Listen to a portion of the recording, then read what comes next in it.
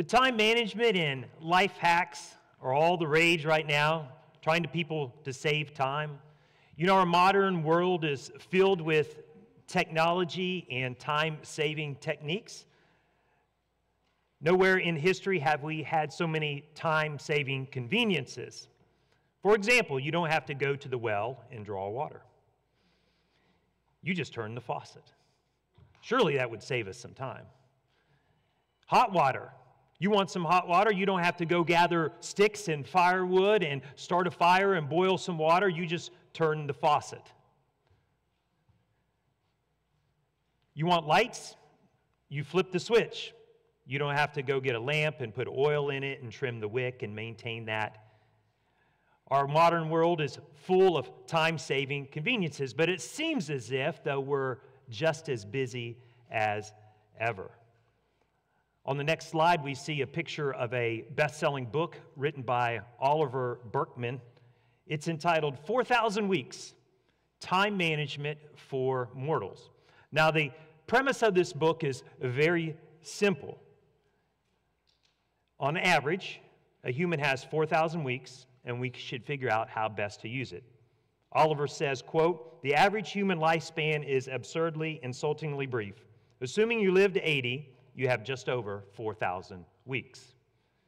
Mr. Burkeman's book is one of a plethora of time management books, trying to teach us how to manage our time and make, make, make the best use of perhaps 4,000 weeks if you live to 80.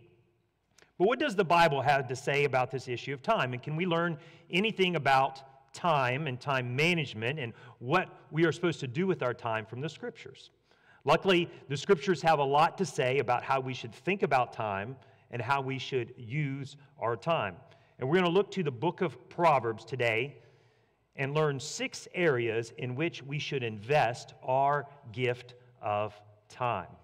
Proverbs is a book in the Old Testament, has 915 verses in it and about 800 proverbs written to us to help us live wise, productive, fulfilling earthly lives. Now, what is a proverb? Take a look at the next slide. A proverb is a pithy, short, memorable saying.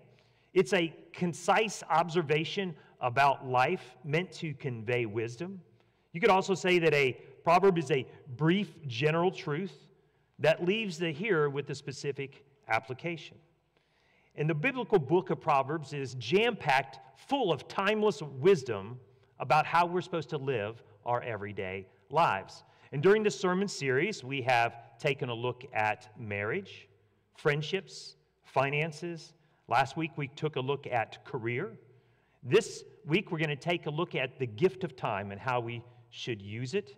And then next week, we'll wrap up our series in the book of Proverbs talking about your past, talking about how the things that have happened in your past inform your present and affect your future. So here's how we're going to proceed. We're going to pray and ask God to speak to us. Then we're going to observe three general things about time from a biblical perspective, and then look at six proverbial principles to help us know where to invest our time. Would you pray with me, please? Lord, teach us to number our days, to value our time, so that we can get a heart of wisdom. Lord, help us to think about time from your perspective. Help us to use the gift of time wisely. Lord, help us to use our time for others' good and for your glory.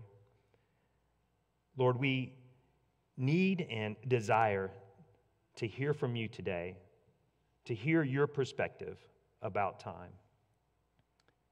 We thank you for the time that we have right now in this moment to gather together, to sing your praises, to encourage one another, to be fed and nourished from your word.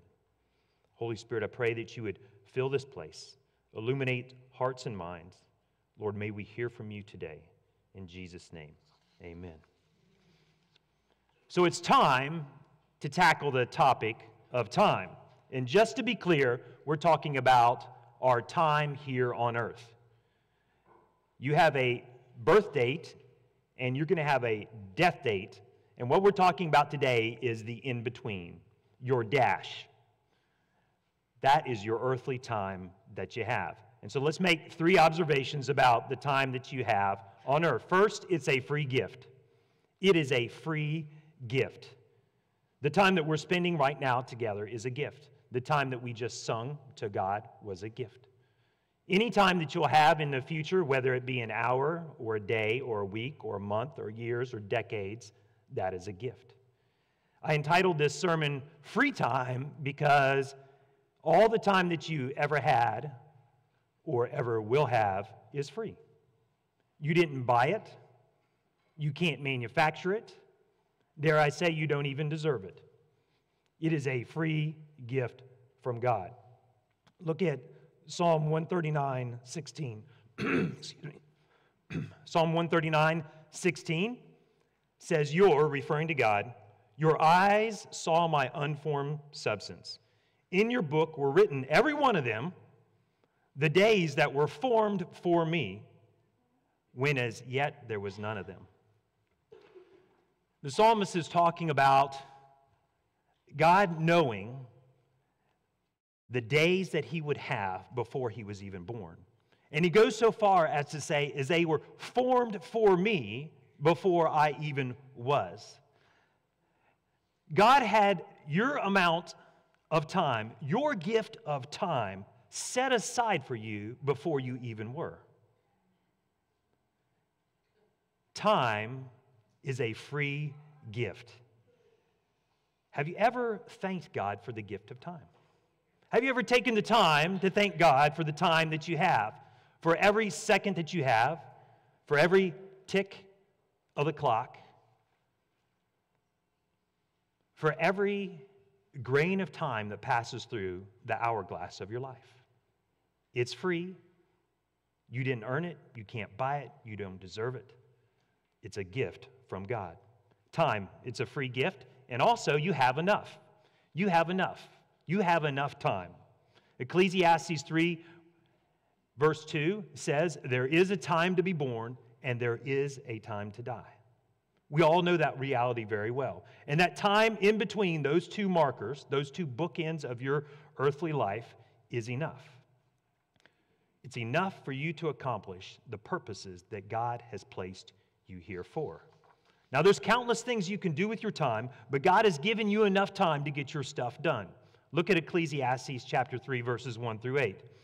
For everything, there is a season and a time for every matter under heaven. There's a time and season for everything that you need to get done.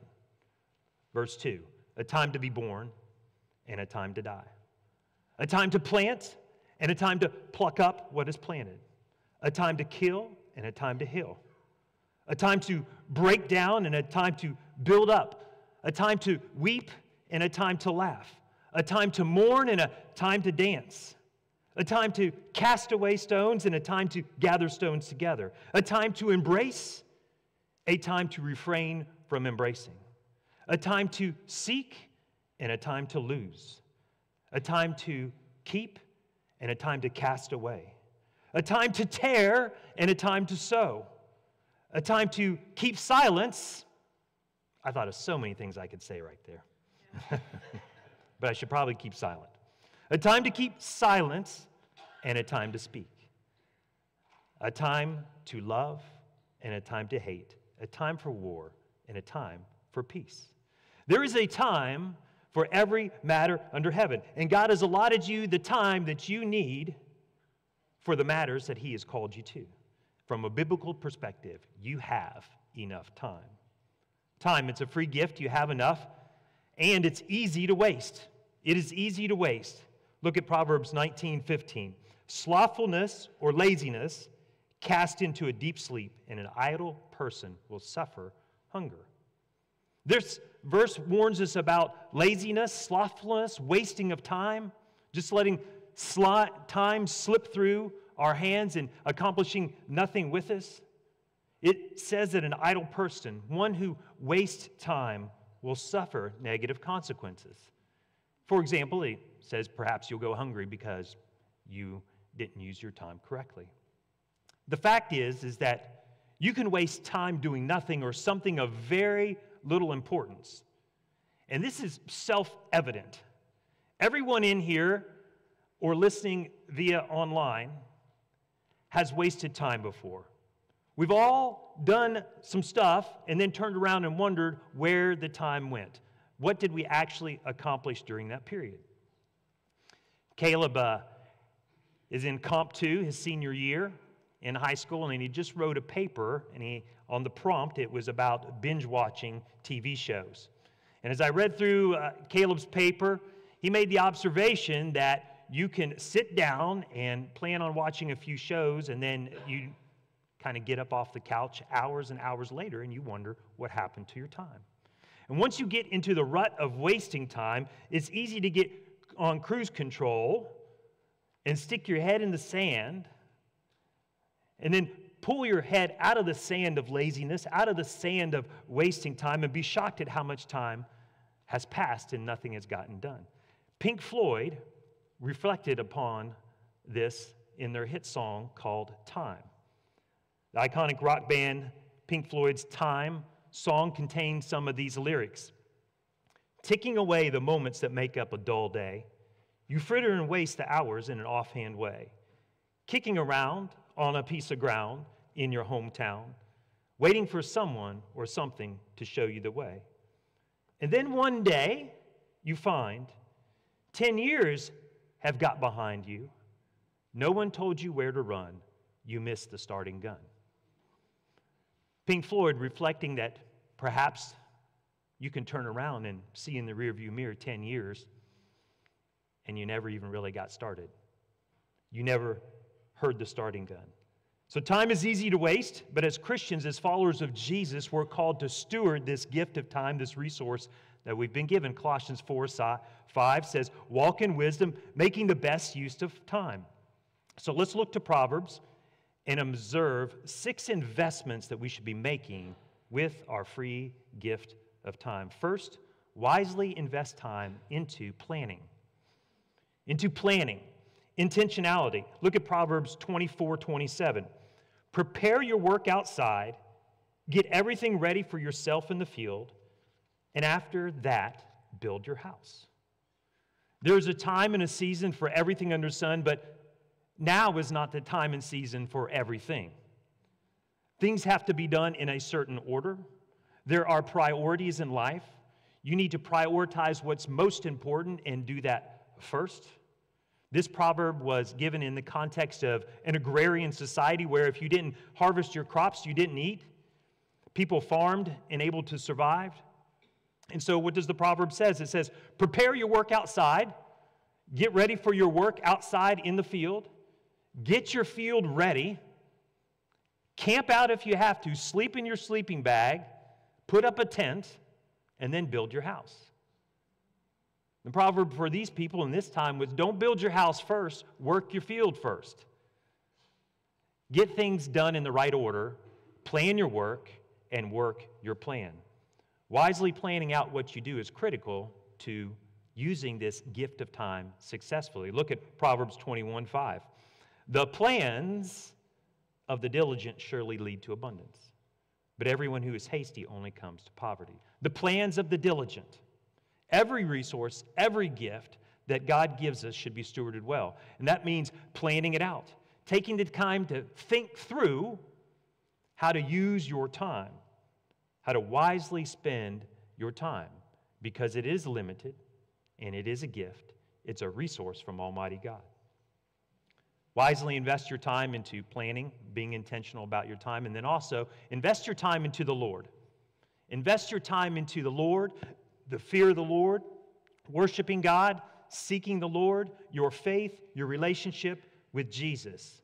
Invest your time in your relationship with your Creator, your Savior. Look at Proverbs 1 7. The fear of the Lord, which is just another way that the Old Testament would say putting God first and having a correct understanding of who God is. The fear of the Lord is the beginning of knowledge. Fools despise wisdom and instruction. This proverb, not so coyly, says that you're a fool if you don't put God first. Fools despise wisdom and instruction, but people that fear the Lord, who understand who God is, who put Him first in everything, they are on the pathway to knowledge. This is the primary reason that you have been given time. This is the main reason that you have been given time is to know the Lord, to understand who he is, and then to properly respond to who God is.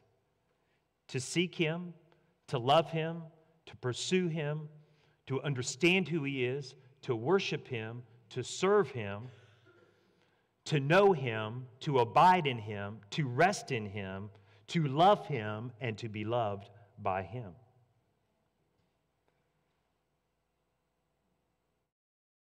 This is actually the starting point of wise living. Look at Proverbs 9 and 10. The fear of the Lord is the beginning of wisdom, and the knowledge of the Holy One is insight.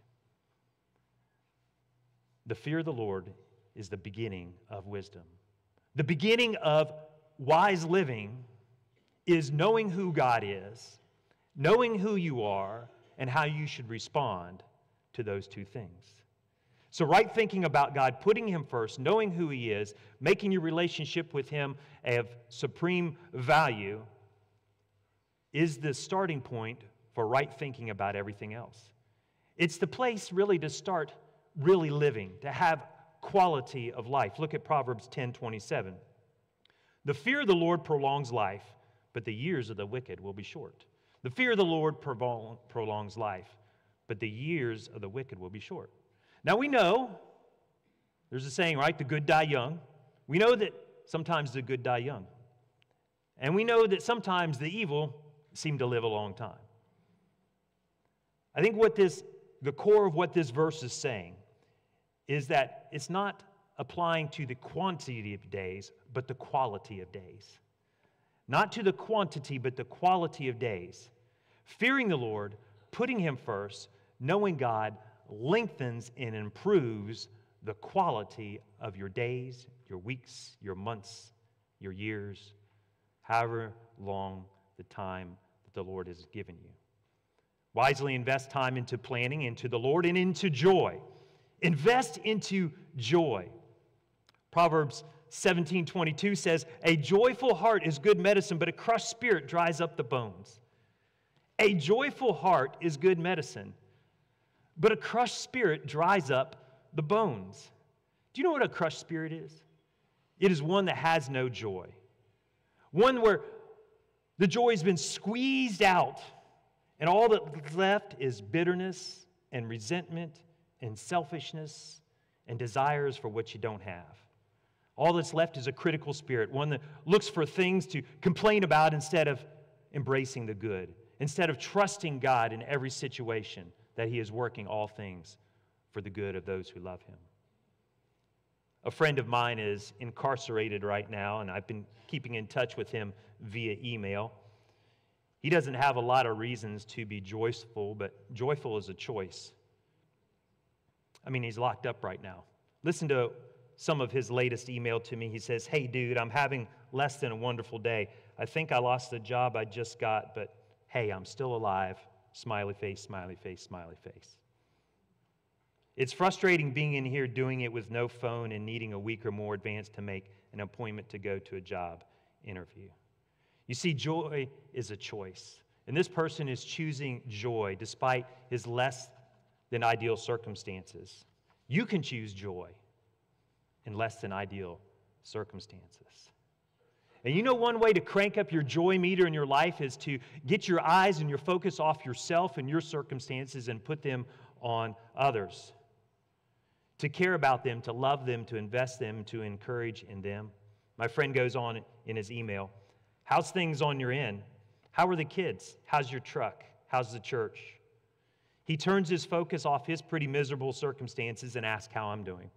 He and I have talked about the fact that three weeks ago we I lost my mother and all that that entails and what I've been going through and all that comes along with that. He goes on his email alluding to that. Try to have a good one when things are bad. Try looking up for a while. It helps me oftentimes. Smiley face, smiley face, smiley face. You see, we can choose joy. And one of the ways that you can choose joy is to get your focus off of your situation and your problems and your stuff and turn your focus on others and invest in others and encourage them to have joy, encourage them to look up. Wisely invest time into planning, into your relationship with the Lord, into joy, and then also invest time into forgiveness. Into forgiveness. Look at Proverbs 19:1. Good sense makes one slow to anger, and it is his glory to overlook an offense. Good sense makes one slow to anger, and it is his glory to overlook an offense, to forgive. Let's be clear here that forgiveness many times is a long process. Getting to the point to where you can forgive somebody and you've processed everything that has happened to you sometimes can be a long process. But it's a wise investment in your time because when you forgive someone, it frees you. Unforgiveness, unforgiveness, unforgiveness holds you in bondage. It imprisons you, it incarcerates you in a dark cellar of bitterness. But forgiveness frees you, even if the other party never accepts your offer of forgiveness. Forgiveness is the key that unlocks the shackles of bitterness and vengeance. Why did Jesus teach us to pray? Forgive us our debts as we forgive our debtors? It's because Jesus knows that your spiritual health depends upon not only receiving forgiveness from the Almighty, but giving out forgiveness to those around you. He knows that when you forgive, it's really evidence that you understand the grace and the mercy and the forgiveness that you yourself have received. Proverbs 10 12 says, Hatred stirs up strife, but love covers all offenses. Hatred stirs up strife, but love covers all offenses. Hatred causes commotion, and love forgives. Hatred looks for revenge, and love looks for reconciliation. Forgiveness is a wise investment of time that is part of our sanctification process. It's part of our journey of becoming more like Christ. Wisely invest time into planning, into the Lord, into joy, into forgiveness, and you guessed it, love. Invest time into love. Jesus boiled down what life was all about to two things. He said, Love God and love others. If you don't do anything else with your time, if you only invested in loving God and loving others, you would hit the time management ball out of the park. Now, we just observed that love is integral to forgiveness. Love is also better than stuff. Look at Proverbs 15 17. Better is a dinner of herbs where love is than a fattened ox and hatred with it. The writer of this proverb is saying, listen, it's, it's better to have table scraps and there be love around the table than to have a seven course meal and there'd be tension and hatred and consternation. Proverbs 19:22. What is desired in a man, what is desired in a person, what is desired in a woman, what is desired in a child, what is desired in a human is steadfast love is steadfast love. That's what we all desire. The people around us, if you've got people around you that are steadfast, lovingly, loving you in your life, that's what you desire. What is desired in a man is steadfast love, and a poor man is better than a liar. What are we looking for in people? Love.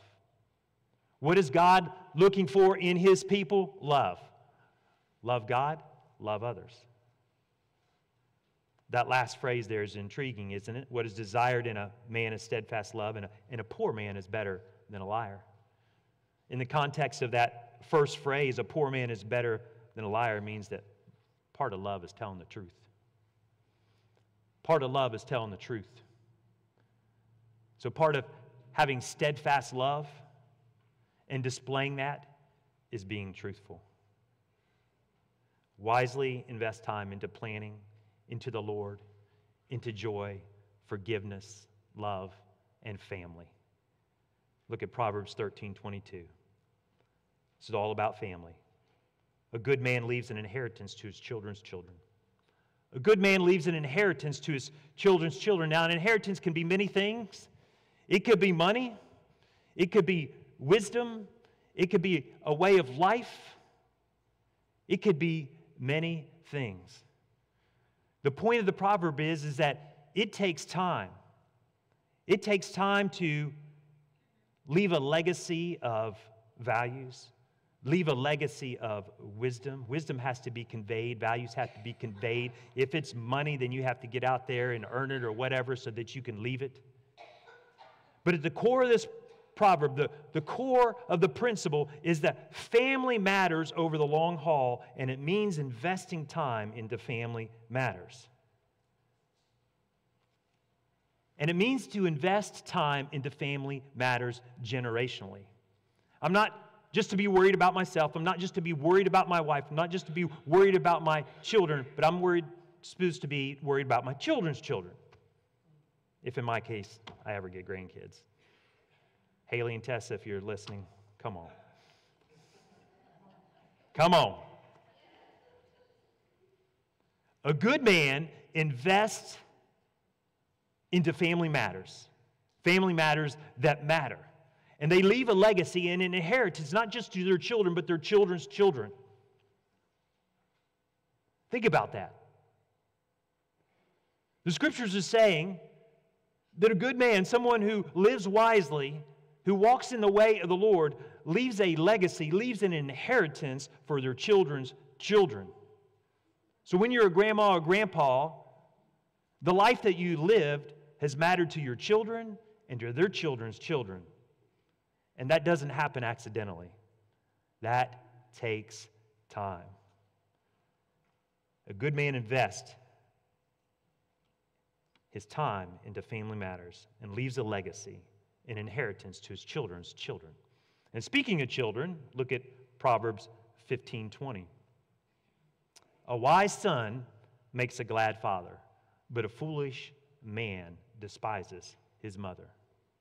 A wise son makes a glad father, but a foolish man despises his mother. Now, part of the Big Ten, the Big Ten Commandments is honor your mother and father.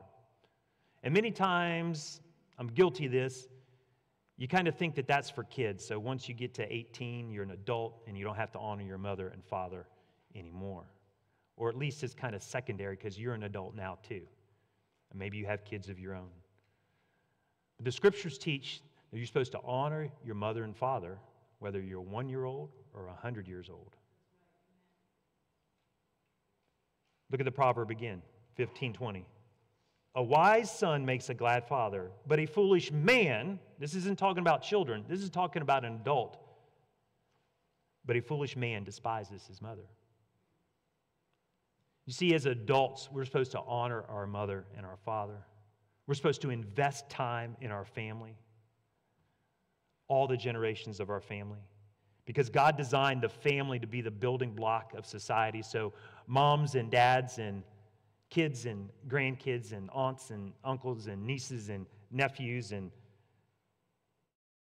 should all be investing time in those family relationships that God has given you.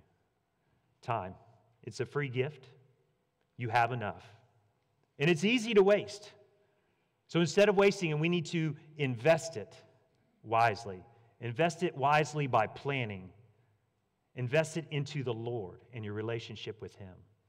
Invest it into forgiveness.